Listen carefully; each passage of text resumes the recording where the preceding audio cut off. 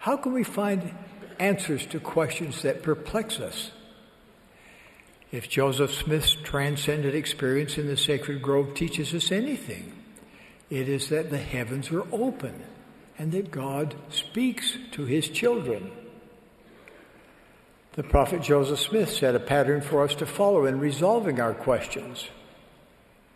Drawn to the promise of James that if we lack wisdom, we may ask of God, the boy Joseph took his question directly to Heavenly Father. He sought personal revelation, and his seeking opened this last dispensation. In like manner, what will your seeking open for you? What wisdom do you lack?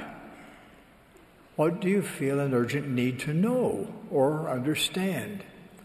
Follow the example of the prophet Joseph. Find a quiet place where you can regularly go. Humble yourself before God. Pour out your heart to your Heavenly Father. Turn to Him for answers and for comfort. Pray in the name of Jesus Christ about your concerns, your fears, your weaknesses. Yes, the very longings of your heart. And then listen. Write the thoughts that come to your mind. Record your feelings and follow through with actions that you are prompted to take.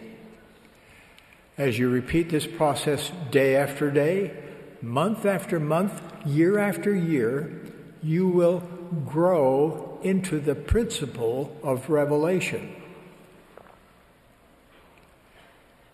Does God really want to speak to you? Yes.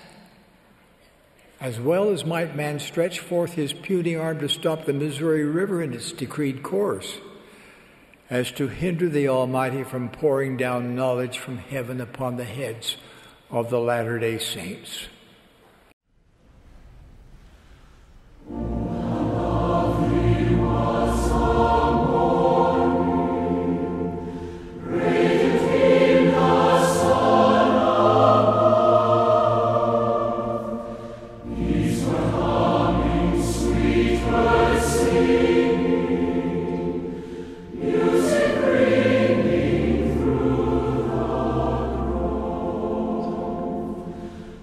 Amen.